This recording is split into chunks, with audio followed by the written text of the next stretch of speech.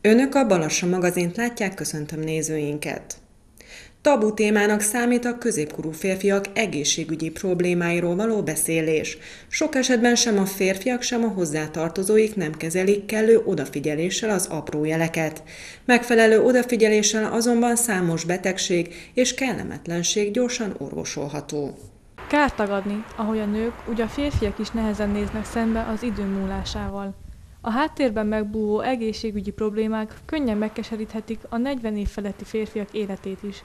Tabu témaként kezelik sokszor a férfiak és hozzátartozói is, hogy a kelleténél többször fáj a feje, merevedési zavarokkal küzd, vagy éppen a napján se tudja annak, mikor volt vidám és gondtalan élete, mert a stressz már mindennapos és sokszor megszokott tényező.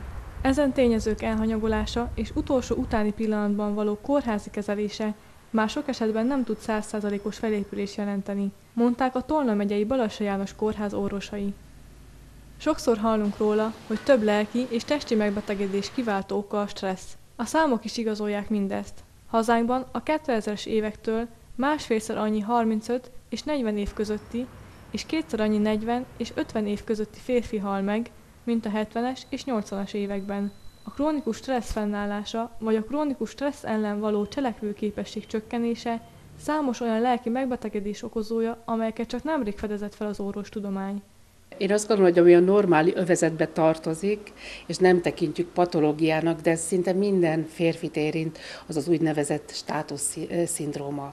Hogy mit is foglal ez magában? Tehát a férfiaknak az a természetes sorrendje, ahova ők magukat helyezik, és ahova egy társadalom helyezi őket. Ez általában feszültséggel jár, és egész életre egy hajtóerőt jelent. Az, hogy ahova ő elképzeli magát, azt a pozíciót megszerezze. Természetesen ezt nem egyedül járja ezt az utat, hanem mindig van, vagy nagyon gyakran van egy segítője vagy támogatója, ez pedig egy asszony. Ami nagyon különleges és érdekes, hogy a nők által meghatározott helynek a betöltése egy férfi számára egyébként sokkal fontosabb, mint a saját maga által meghatározott státusz. És ez természetesen feszültséget is jelent. Az irritábilis maszkulin szindróma, ami még a normál övezetbe tartozik, nem sorolják jelen pillanatban a, a betegségek közé, de hogy valahol a, gyakorlatilag közelít a, a betegség képéhez. Ezt 2009-ben írták le, és a középkorú férfiaknak a, a probléma rendszerét övezi fel. Hogy ez mit is jelent? Gyakorlatilag a krónikus stressz, ami, ami nagyon nagy probléma, én azt gondolom a jelen pillanatban a, a társadalmakban, a miénkben mindenféleképpen, és a hormonváltozások együttesen létrehoznak egy működési formát, aminek a legfőbb tünetei a frusztrációnak a, a csökkenése, a frusztrációs toleranciának a csökkenése, egy nagyon érzékeny időszak, amikor mindenre fokozottan reagálnak a férfiak, indulatkezelési problémák, hangulat, ingadozás és a szorongásnak a, a megjelenése. Hogy ez e, miben is nyilvánul meg.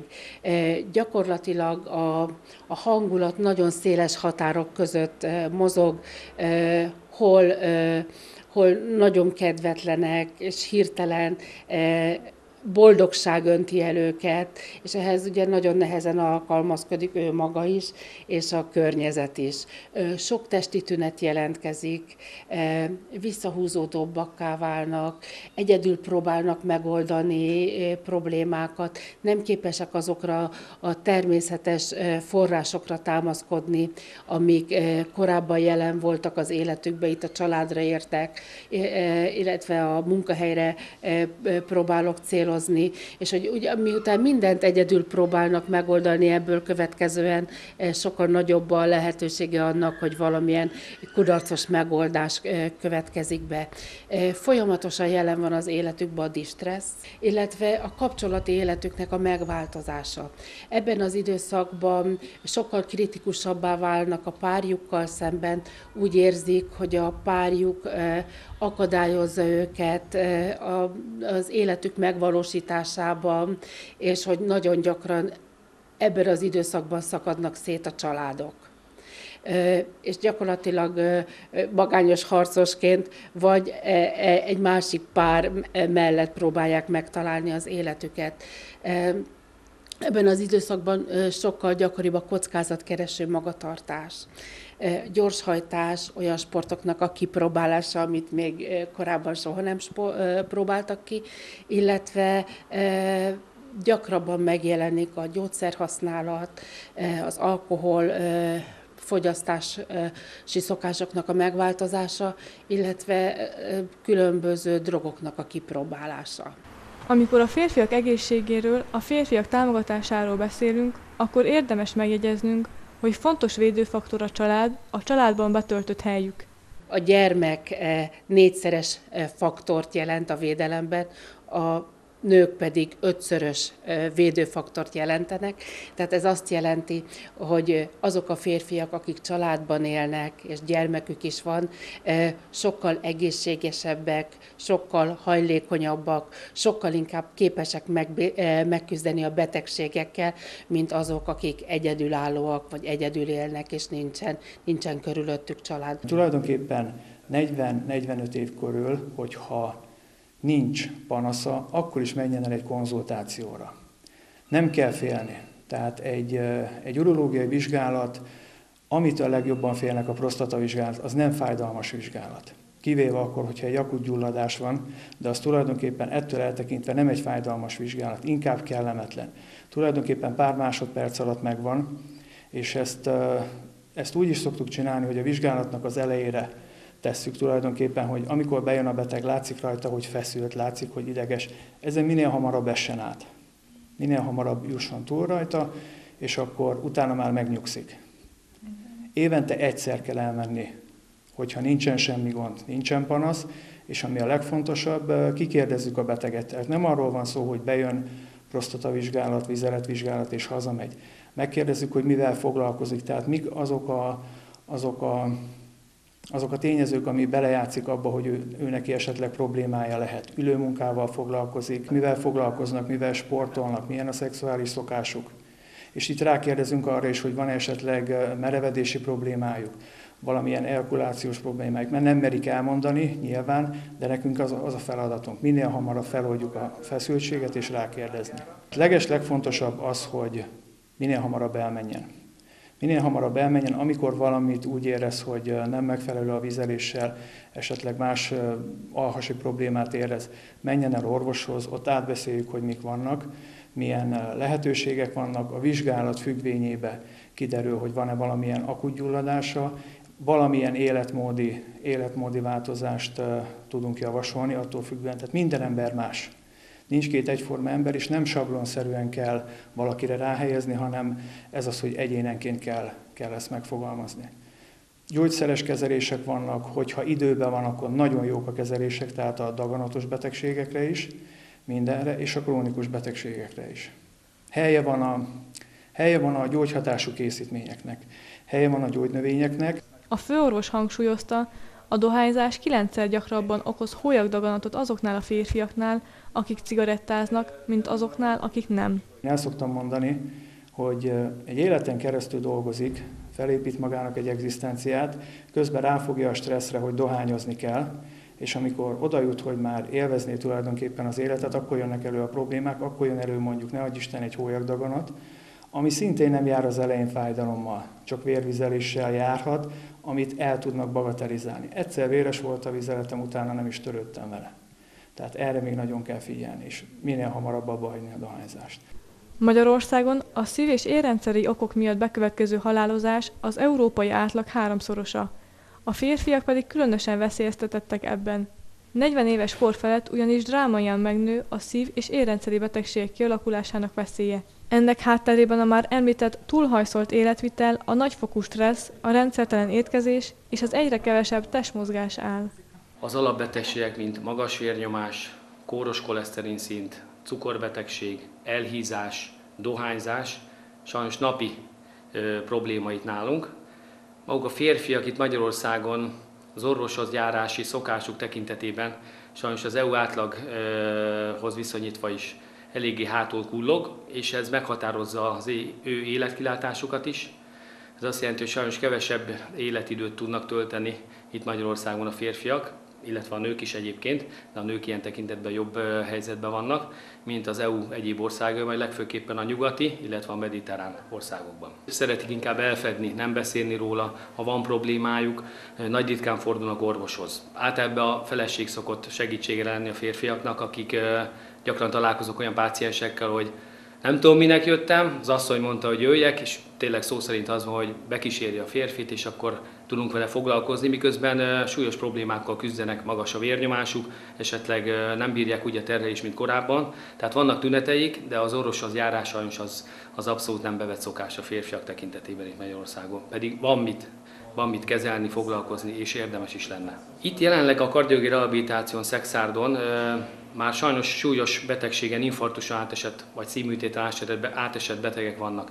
Itt egész pozitív a hozzáállása a férfiaknak, nem tudok különbséget tenni a nőköz viszonyítva. Ők ugye belecsöppennek egy ilyenbe, hogy korábban semmi bajuk nem volt, közben volt, csak nem tudtak róla, és kaptak egy szívinfarktust ide kerülnek hozzánk. Itt azok a folyamatok mennek végbe, hogy ezek a férfiak visszakerülnek az ő korábbi foglalkozásukba, családba betöltött szerepükbe, és ezt a folyamatot, hogy infarktus van, és újra visszaállnak a korábbi életükbe, ezt a folyamatot próbáljuk mi lerendezni itt a rehabilitáción. Itt nem látok különbséget, tehát itt egész jó az együttműködés a férfiaknak, betartják az általunk javasolt dolgokat, a későbbiekben szintén van probléma, tehát amikor eltelik az első pár hónap, panaszmentesek jól érzik magukat, akkor a gyógyszerszedéssel kapcsolatosan mutatkoznak hiányosságok. Az egyik probléma az, hogy valóban jól érzik magukat. Megtörtént ugye a beavatkozás, rehabilitáció, életmentés, eltelik két-három hónap, teljes panaszmentesség van, visszaálltak a korábbi funkciójukba, munkahely, család, stb. És úgy érzik, hogy a gyógyszerekre nem biztos szükség van. A másik probléma pedig sajnos a negatív propaganda, amit létezik Magyarországon, az a koleszterin csökkentőkkel kapcsolatosan. Sajnos a szomszédtól egyéb fórumokon hallani, hogy ezek a gyógyszerek ezek károsak ránk, és emiatt előszeretettel van az, hogy ezt a gyógyszert ezt mellőzik. Gyakran van, hogy a többit azt szedik, de valahogy mindig kiderül, hogy a koleszterin csökkentő gyógyszer az elmarad a terápiából. Egyébként ilyen tekintetben is pozitív dolgokról tudok beszámolni, tehát nagyon sok a jól együttműködő páciens Működik egy rendszer, kapnak időpontot a betegek, visszajönnek kontrollra, labort csináltatnak előre, és ez nagyon jól működik. Az életmódváltás az egy nagyon fontos dolog. Tehát az alapja a prevenciónak, illetve a gyógyítás, tehát az infarktus utáni életnek is. Azt gondolom, hogy rendszeresen például eljárjon a páciens mozogni, a korábbi testsúlyából leadjon, az nagyon fontos része az úgynevezett szekunder prevenciónak. De a primer prevencióban is nagyon fontos szerepet tölt be, és hát a kollégáim megmondhatják, hogy itt nem megy el olyan páciens, akinek nem mondtam volna, hogy változtatni kell az életen, és be kell vezetni a rendszeres testmozgást. Ezt a szakma naponta ajánlja, legalább egy fél-három órás időtöltést. Én azt gondolom, hogy a mai világban legalább heti kétszer eljutnának a, a páciensek valamilyenféle mozgásra, és annak nincs jelentőség, hogy mit csinál az ember. Ott jól érezze magát, elfáradjon, megizzadjon, és kellemes mentális állapotba kerüljen az, hogy kicsi elfáradva, ez egy nagyon jó dolog lenne. Ennek a megvalósulása ez, ez változó. De valóban változott a trend, tehát manapság sportolni az, az már nem egy ilyen kirívó dolog. Az ember végigmegy szexárdon, és folyamatosan lát futó embereket is, ez egy csodálatos dolog, ugyanis ez nagyon fontos része a prevenciónak. Nem is gondolnánk, hogy a három terület mennyire összefügg. A stressz miatt dohányzunk, és a két tényezőnek nagy mértékben később betudható a merevedési zavar, ami 80%-ban visszavezet a szervi problémákra, amely leggyakrabban ér eredetű zavart jelent, vagyis ezt kiváltja például magas vérnyomás. Feltevődik a kérdés, mit tehetünk? Figyeljünk oda testünk apró jelzéseire, ne halogassunk elmenni orvoshoz, megfelelő odafigyeléssel ugyanis számos betegség és kellemetlenség gyorsan orvosolható vagy elkerülhető. Az orvoshoz érve mindig őszintén mondjuk el panaszainkat, így tudnak segíteni, összegezték a szakorvosok. Sokan nem tudják, hogy a kórház üzemeltetési része hány munkát is lát el. E funkció ugyanúgy életeket ment, mint egy orvos. A Tolna megyei Ballassa János Kórház üzemeltetési osztályának néhány munkafázisát követtük végig, ezzel is megismerve azokat a munkapontokat, feladatokat, amelyekre nem gondolunk, amikor a kórházban járunk.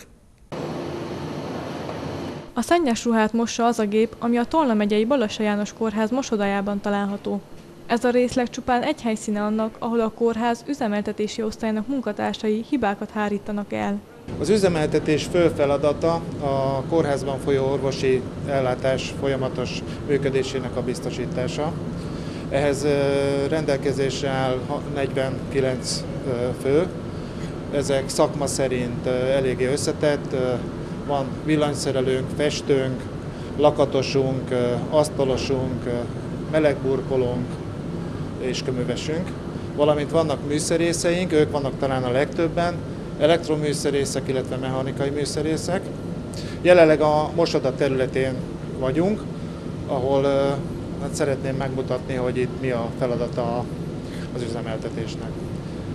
Itt a háttérben látszik egy szárítógép, ami a kimosott ruhákat, illetve különböző textiliákat szárítja.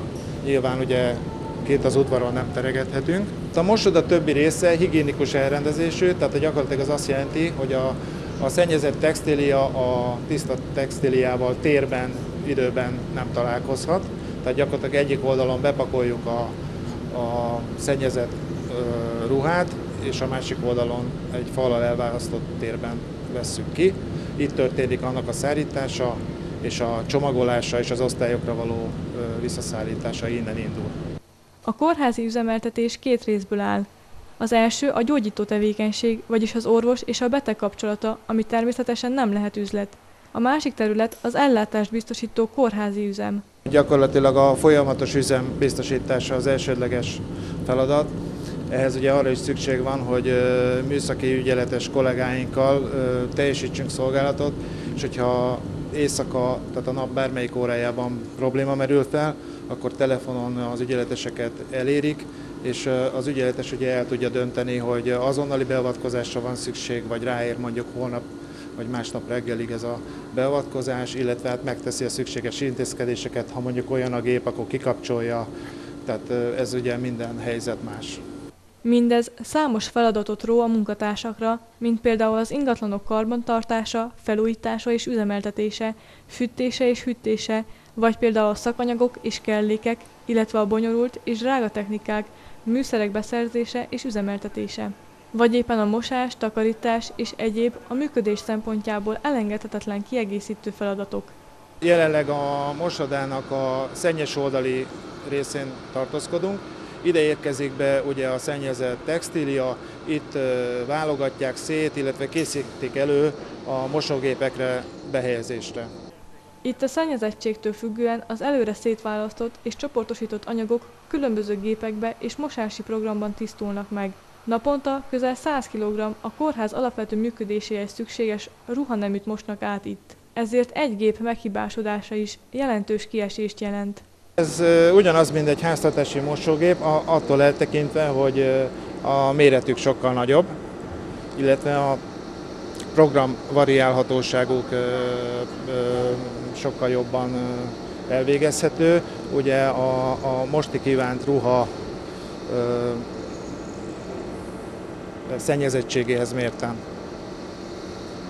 Ugye azért vannak kisebb-nagyobb mosógépek, mert mondjuk például, hogy függönyt akarunk mosni, azt nem moshatjuk össze a, a lepedővel. Tehát ugye kis mennyiségű függöny a kis mosógép, nagyobb mennyiségű lepedő egy nagyobb mosógépbe kerül. Gazdaságosabb is a, a tisztítás. Illetve hát vannak olyan mosógépeink, amik több rekeszes, tehát ugye az otthonitól eltérő, mert otthon ugye egy dobbal rakjuk bele a mosógépbe a ruhát, itt pedig három különböző rekesz is van a mosógépben de nyilván a, a víz az ugyanaz. A kimosott tiszta ruhák, amikor kikerülnek a mosógépből, attól függően, hogy milyen jellegűek, tehát ágynemű vagy munkaruha, különböző szárító eszközökkel szárítjuk meg. Az ágyneműket azt a nagy, látott nagy géppel, a kalanderrel szárítjuk meg, annak a végén, ugye, mire végigér ezen a soron, addigra a ruha megszárad, ott ugye összehajtogatják, és átkerül a tiszta ruharaktárban. Az egyéb más jellegű ruhaneműk pedig a különböző más vasalókon, tehát a körvasalón, illetve a présvasalón kerül megszárításra is, illetve összehajtogatásra. Bekerül ugye ide a tiszta ruharaktárba, ahol szortírozzák a kolléganők, hogy az osztályokra vissza lehessen szállítani a leadott anyagot. A különböző gépeink különböző energiaellátással vannak megtáplálva. A mosógépeinket forró gőzzel látjuk el, illetve elektromos energiával, tehát a fűtést azt a, a gőz végzi. A vasalóknál pedig hőközlő olaja, tehát gyakorlatilag gázzal állítunk elő forró 230 fokos olajat, amit keringtetünk ezeken az eszközökön, és ugye ezek adják át a hőt a ruhának, illetve hát ezektől szárad meg. Ezen technológia jól kigondolt és régóta alkalmazott. A munkafolyamat gördülékenyen halad, amíg egy hiba miatt leáll az üzemeltetés, és vele együtt akár egy munkarész is. Még, még láttuk, hogy a mosógépből elég sok áll rendelkezésre, most már hála Istennek. Ezek közül, hogyha bármelyiken műszaki hiba van, akkor gyakorlatilag tudjuk kezelni ezt a kieső ö, problémát, de a, sajnos a szállítógépeinkkel, hogyha probléma van, ezekből sajnos csak egy van, akkor ugye azonnal be kell avatkozni, illetve javítást el kell végezni. Mert ha nem, ugye akkor leáll a géplánc, és akkor gyakorlatilag ugye nem tudjuk kiszállítani, visszaszállítani a, a kívánt ruhaneműt az osztályokra. A mosoda feletti részben kapott helyet a varroda. Itt az elszakadt orvosi ruhanemüket, ájnemüket, függönyöket varják meg. Sok esetben, ha valamiből nincs elégséges, akkor itt helyben azt is legyártják, újakat készítenek. A kórháznak az ökkenőmentes ellátásához szükséges, hogy helyben történjenek meg a varrások, így időt és pénzt spórol a kórház. Fákat ültettek a Szexádi Balassa János Kórház dolgozói az intézményben. A zöldítésre az idén áprilisban indult Fogadj örökbe egy fát nevű programsorozat részeként került sor.